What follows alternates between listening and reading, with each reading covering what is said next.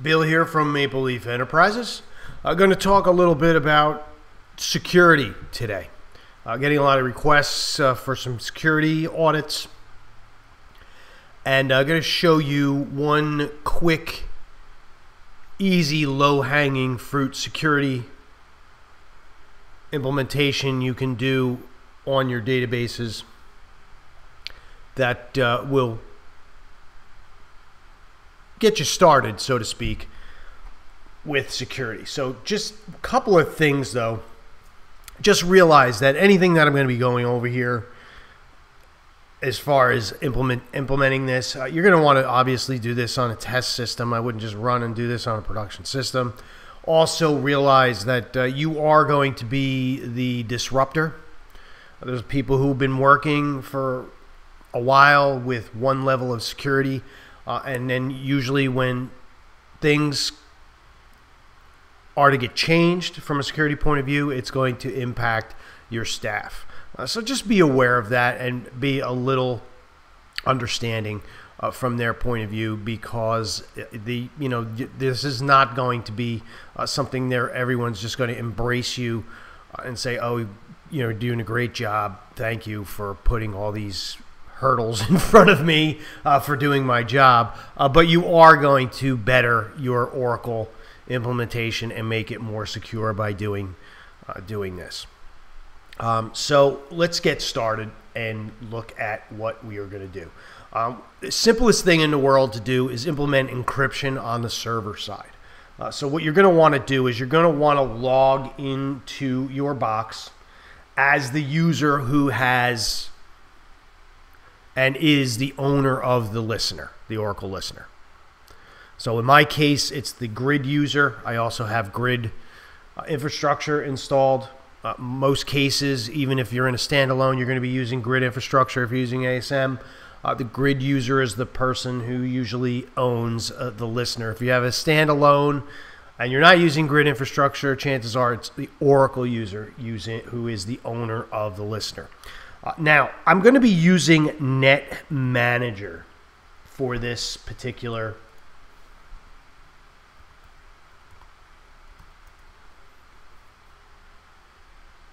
implementation. And the reason why is this. Uh, there are some settings in the SQLnet.ora file that actually get created by performing this encryption.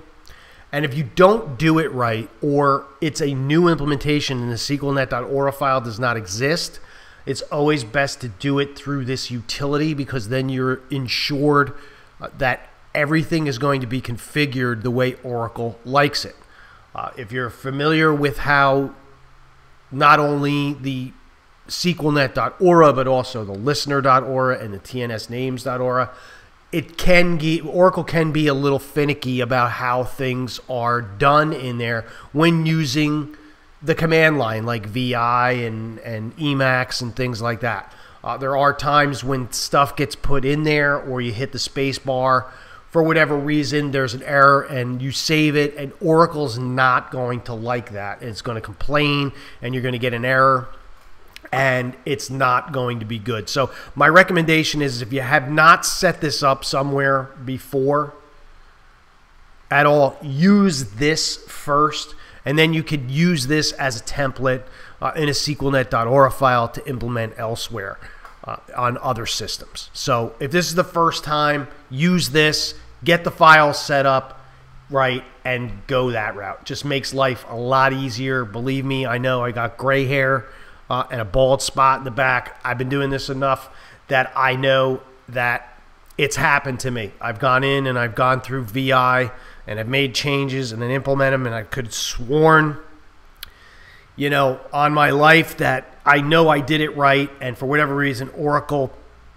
just would not accept it, complained, threw a hissy fit, went into Net Manager, did it, created it, and everything worked. So just easier and cleaner, especially again for a new implementation of this.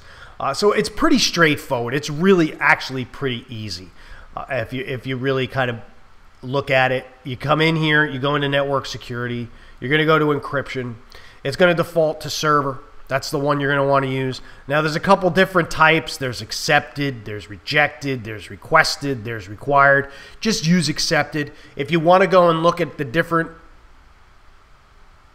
options and what exactly it is that they do specifically. You could go pull up the documentation, go into the Oracle security documentation. Um, each of those options are outlined what they do and what they don't do. I just use accepted. It's fine with me. Uh, and then for available method, my recommendation is just stick with AES 256 or RC4 256. Either one of those is fine. These other ones are being phased out slowly but surely, um, especially the ones down the bottom. I just prefer to use AES 256. It's simple and easy. And then you're going to need to come out and create an encryption seed. Now, this can be anything from 10 to 70 characters, alphanumeric. Uh, don't use brackets. I will just say that because if you use brackets, you have to put them in quotes, and it's it's a pain in the neck. There are other ways uh, to deal with that. So what I usually say to do, the easiest thing to do, is pull up a pull up VI, and just create a file, and then just type something in that's alphanumeric, right? So this is my seed, right? Pretty simple. It's more than ten characters. I can remember it. I wouldn't recommend using this, but I'm just doing this for demonstration purposes. Generally, if customer's going to ask me, you know, to create a, a, a seed for them, I'm going to come up with something that has to do with their company. Uh, so, you know, if, if it's a, you know, if they're a market research company, I may come up with something that relates to marketing and make the seed something like that so that if I do actually share it with the company, it's something people can remember too. That it's just not some random set of, even though it should be a, a random set, I try to give it at least something that is rememberable so that if there is a problem that we can go back and actually know what it is so we don't have to change it everywhere but that's up to you you know, there's all different standards. Some people say I'm out of my mind to actually think to do that, but you know, it's a give and take. You know, you have to do what you need to do, but you also need to make it somewhat user friendly so that people remember it because most people are not going to remember it anyway. Uh, unless they have some kind of vault. Some places have like, you know, a, a Dropbox vaults that they stick these types of things in. Uh, you could do that as well. So anyway, that is what you're going to want to do. So you're going to want to copy that and then you're going to paste it in here.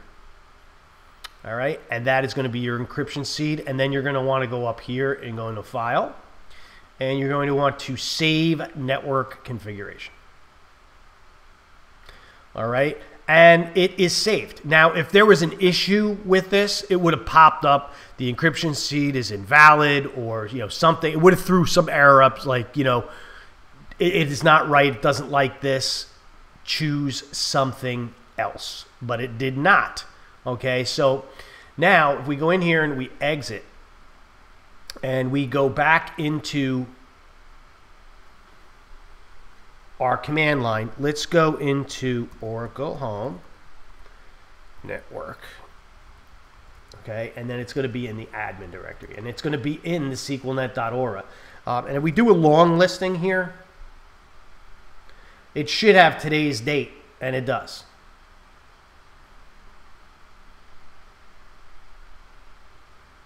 All right, so now here we're going to just go in and view and see what it did. And this is what it did. Now, again, you could go in and actually do this manually in the file. And I don't have a problem with that. And I don't have a problem with doing that. But as I said, if you've never done this before on a particular system, which I have not done that before on there, this can be an issue. Because if you don't have all these settings with the exact space, like I will tell you the truth, I don't do this all the time. I wouldn't have known to put a space in here or here or around this. And you you think, oh well, they shouldn't be a problem. Sometimes it is. I'm telling you, it's happened to me where I've put it in and then Oracle's complained like, hey, it's not working. It's not working. So anyway, now you have this set up. What you could easily do now is you could take this SQLnet.ora file, and if you need to implement this elsewhere, you can actually go and copy this or SCP this into your other systems. All right, so now you have one set up. It's all done. You're ready to go. And there it is. So it's all set up, and you don't need to do that again. So you really only have to use that tool once, and then you're you're done. Have a nice day. Then you can just actually copy this and be done with it. So that's how you implement encryption. Now, what you're going to have to do is, let's just go back in there. What you're going to have to do uh, with this uh, is you're going to have to implement this on the client side as well, because the client is not going to be able to communicate unless it has this encryption seed and this type of encryption method set up. Uh, so really all you're going to want to do for the clients is you where it says server, you're going to change that to client. So again, you could take this information, copy it, SCP it, and then you can blow that out to your clients. Whoever it is you do it, if you do it through some kind of Microsoft product, if they're Microsoft you know, if you have some kind of implementation tool or you just want to, I wouldn't recommend emailing it to somebody. I would not recommend that. Please don't do that. Uh, but that would be what you need to change. You would need to change this from server to client. All right. And then there you have it. And that would actually implement encryption on your listener. So at least stuff going back and forth from client to server over the network, over the listener, is encrypted. That's it. I hope this helps. And last but not least, if you want to get all the documentation, let's just do that real quick. If you want to get the documentation uh, on this, you can actually go. This is actually a great tool, and you can see I have it up. Um, I've never, by any means, claimed to be a know-it-all. I am. Not, I'm not Burleson, um, you know, where I'm going to, you know, give you the look out of the side of my eye or wear my cowboy hat uh, and totally plagiarize all the Oracle documentation ever created. Uh, I'd be more than happy to show you. You just go to Docs. Oracle has some phenomenal, phenomenal security. You just go to security. Here it is, right here. You go to Docs.oracle, right? Go under database there is a whole slew of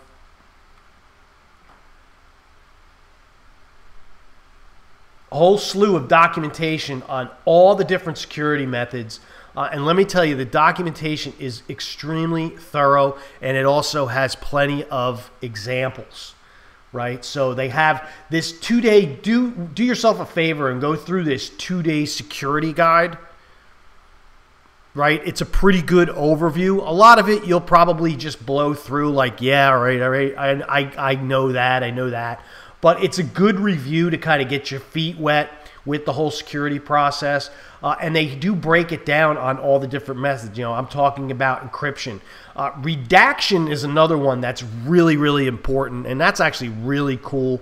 Uh, in 12c now, they have this uh, this redaction of data, uh, which is actually I could actually do a whole multi-part series on that particular um, security mechanism. But you see here, there's all this documentation really, and you can actually make yourself a security expert in no time if you take the time uh, to go through many of this documentation here. Uh, so anyway, that's it. I hope this helps.